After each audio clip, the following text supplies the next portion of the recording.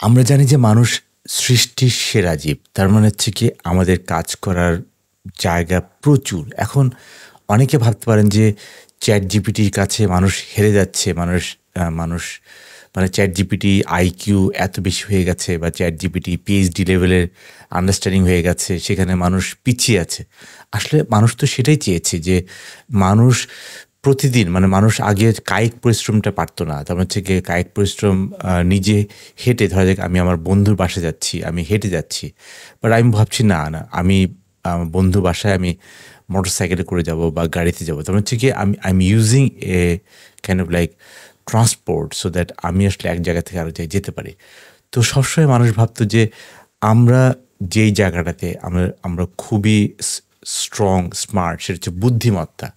আমরা ভাবতাম যে মানুষ বুদ্ধিমত্তা এক্সপার্ট তো কিন্তু মানুষ তার বুদ্ধিমত্তাকে আরও এক্সপার্ট বা আরও টেন টাইমস ফাস্ট করার জন্য কেন মানুষ যন্ত্রকে কাজ করাবে না?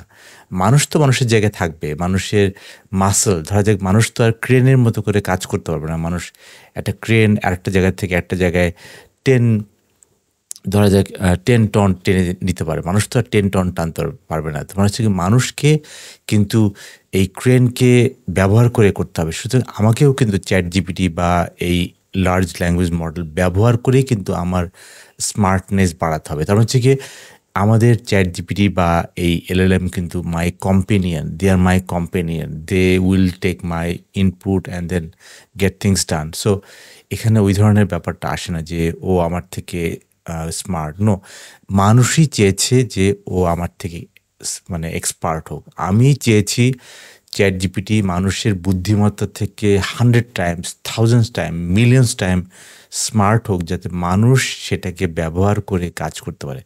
এখন যে জিনিসটা আমি সবসময় বলি যে, কেন মানুষকে আসলে এই থিঙ্কিং রাইট যেহেতু আমি সবসময় থিঙ্কিং রাইট থিঙ্কিং রাইট মানে I have to think right I have to think right to get or to solve problem so আমি আসলে পৃথিবীতে আমাদের কাজ হচ্ছে গিয়ে প্রবলেম সলভ করা। এখন প্রবলেম সলভ করতে গেলে you have to think right আপনি এলেবেলে চিন্তা করে কিন্তু you can't solve problem so আমাদের অনেক ধরনের ফ্যালাসি আছে। যেমন এখানে আমি দেখছিলাম যে কনফার্মেশন বায়াস আপনি বুঝতে পারছেন যে কোন বইটা confirmation bias so confirmation bias মানে হচ্ছে গিয়ে কাইন্ড অফ লাইক আমি যেটাকে বিশ্বাস করি, সেটার জন্য যত ধরনের যুক্তি দাঁড়া করানো সম্ভব, সেগুলো খুঁজে বের করা।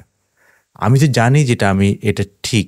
আমি এটা জানি যেটা ঠিক। তা এটাকে সাপোর্ট দেওয়ার জন্য যদি আমাকে হাজার হাজার যুক্তি বের করতে হয়, সেই কনফার্মেশন বায়াসের মধ্যে যদি আমি পড়ে যাই বা সেই ফ্যালাসির মধ্যে আমি পড়ে যাই, তাহলে তো I am not thinking right I am not thinking right so I have to think right and I have to use chat GPT kind of L L M যাতে আমি বুঝতে পারি I am thinking right so এখানে আমি আসলে chat জিপিটির মতো টুলগুলো ব্যবহার করি to understand the reflective thinking যে আমি যেই কাজগুলো, ধরা যাক আমি যেই কাজগুলো আমি করি, এখানে এলএলএম এর সাথে কথা বলতে গেলে আমার চিন্তাকে আমি যখন ওকে বলি, তখন কিন্তু সে আমাকে কিন্তু সেই চিন্তাগুলো আমাকে আবার ফেরত দেয় উইথ দ্যাট আন্ডারস্ট্যান্ডিং যে এইখানে এই আন্ডারস্ট্যান্ডিংটা মনে হয় না ঠিক আছে বা এই আন্ডারস্ট্যান্ডিংটার মধ্যে এই প্রবলেমটা আছে, এটার মধ্যে এই ফ্যালাসিটা আছে বা এটার মধ্যে এই ধরনের বায়াসটা আছে।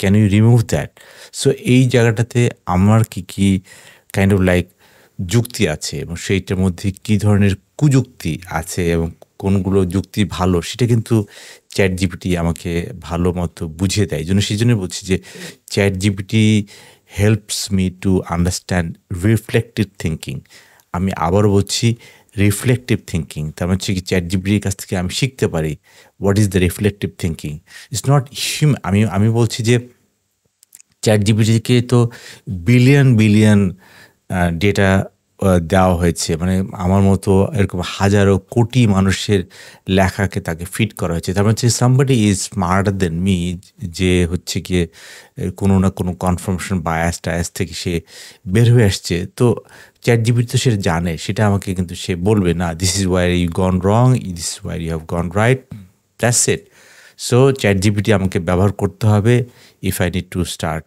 or think right so reflect reflective thinking reflective thinking this is number one number two হচ্ছে গিয়ে আমাদেরকে বিভিন্ন ভিউ পয়েন্ট দেয়।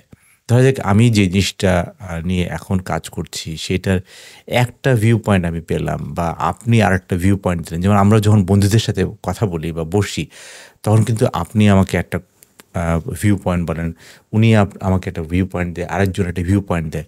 এই জন্য স্মার্ট লোকজন দেখবেন যে স্মার্ট লোকজন কিন্তু কখনোই মিটিংয়ে প্রথমে শুরুতে কথা বলে না। এটা কিন্তু তারা হচ্ছে রিয়েল স্মার্ট তারা কিন্তু শুরুতে কোনো কথা বলে না। They hear from everybody and then they do they they do their critical thinking analyze এর মধ্যে যারটা বাজে যুক্তি, তারটা ফেলে দেয়, যারটা ভালো যুক্তি এবং তার সাথে নিজের যুক্তি যোগ করে সে ফাইনাল একটা সামারি দিয়ে দেয়। তার মানে হচ্ছে গিয়ে you need to understand different perspective from L L LLM তারপর হচ্ছে কি এলএলএম আপনাকে ডিফারেন্ট পার্সপেক্টিভ দেবে। তারপর হচ্ছে কি of course LLM helps us to framework অনেকগুলো আন্ডারস্ট্যান্ডিং ফ্রেমওয়ার্ক আছে। সেই আন্ডারস্ট্যান্ডিং ফ্রেমওয়ার্ক মধ্যে ফ্রেমওয়ার্কের মধ্যে যুক্তির যে গঠনগুলো, সেই যুক্তির গঠনগুলো কিন্তু সে আমাকে দেখায়। এই জন্য কিন্তু আমি মনে করি যে if you use DeepSeek DeepSeek কিন্তু প্রথমে রিজনিং স্টেপ বাই স্টেপ রিজনিংটা দেখিয়েছে যে, না, আসলে আমি এটা বলছি।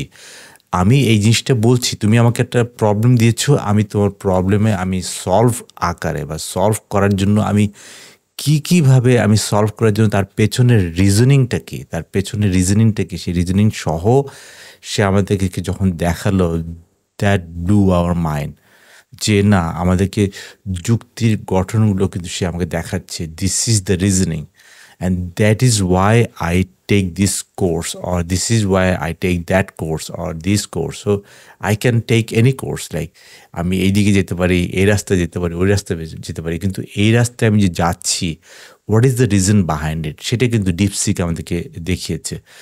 আরেকটা জিনিস আমি মনে করি যে, এলএলএম আমাদেরকে কিন্তু আসলে নিজেকে ভাবতে বাধ্য করে। LLM is putting a pressure on human যাতে সে নিজে থেকে চিন্তা করতে পারে। দুই নম্বর হচ্ছে যে, সে আপনার ভাবনার যে রুট আছে, সে যে আপনার ভাবনার যে রুট আছে, সেটাকে সে চ্যালেঞ্জ করে।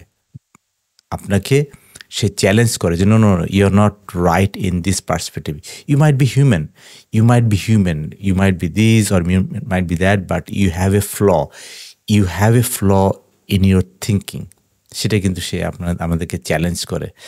আর কীভাবে যুক্তি তৈরি করতে হয় এবং কীভাবে একটা যুক্তি তার ফাঁক তৈরি করে বের হয়ে যায় এবং সেটা কিন্তু আমাদেরকে দেখায় যে আমি এই যুক্তিটা নিয়েছি, কিন্তু সেই যুক্তি থেকে কীভাবে ফাঁক দিয়ে একজন বের হয়ে যেতে পারে সেটারও কিন্তু আমাদেরকে দেখায়।